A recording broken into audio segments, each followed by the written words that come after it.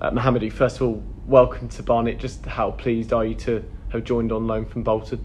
Yeah, I'm pleased to be here. I'm just buzzing to just get going and just play for the club, really. Yeah, buzzing. You scored plenty of goals at Enfield. I was watching some of the clips before the interview. I assume you're hoping to get out this loan to get some game time and really build up a bit of momentum because it looked like at Enfield when you once you got a couple, you really did then carry on and kick on. Yeah, for me it was just about getting games. Um, that's why I was at Enfield, you know, getting games, and the manager believed in me there, um, and that's what happened. You know, I mean, games and goals. So yeah, I'm just looking to get the same here, get some games, and hopefully the goals will follow. You've only had a, a couple of training sessions, but we've got some other really good strikers at the club in Josh and JJ. You must be looking forward to linking up with them. Yeah, um, they are quality players, and um, just hopefully that we can just uh, link up on the pitch and just show everyone what we can do together. Uh, you, I assume, be hoping to make your debut this weekend against Bromley. What can Barnet fans expect from you? What kind of striker are you?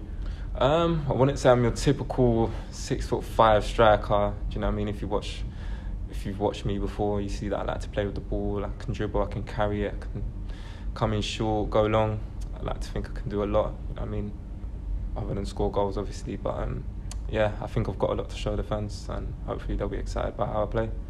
It was a big move when you joined Bolton. Uh, what can you take from your time there so far, and what can you bring to Barnet from those experiences that you've had?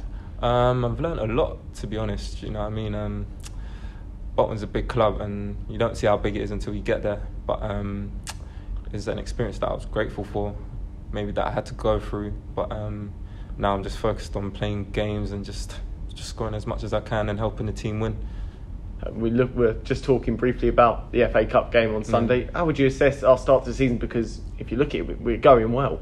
Yeah, it's just only five games in, and you know it's the start of the season, and I know that like, it's been a bit disruptive with like players missing games and and stuff. But um, Sunday was a good win, and just showing what we're capable of, you know. And once we get players back fit, I'm sure we'll do well.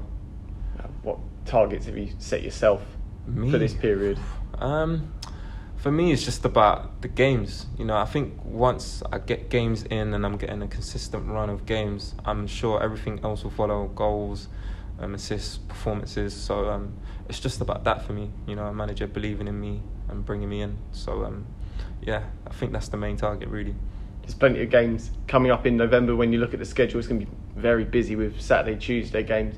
You must be really looking forward to hopefully getting getting that run of games under yeah, your belt. Yeah, yeah, I'm buzzing. Like, um, it's nothing better than when games are coming thick and fast. You know what I mean? Um, it was like that last year. You know, Tuesday, Saturday, Tuesday, Saturday, and just you're just in a rhythm, and uh, yeah, you just kind of just don't want it to stop. But I'm I'm excited and just can't wait to get going.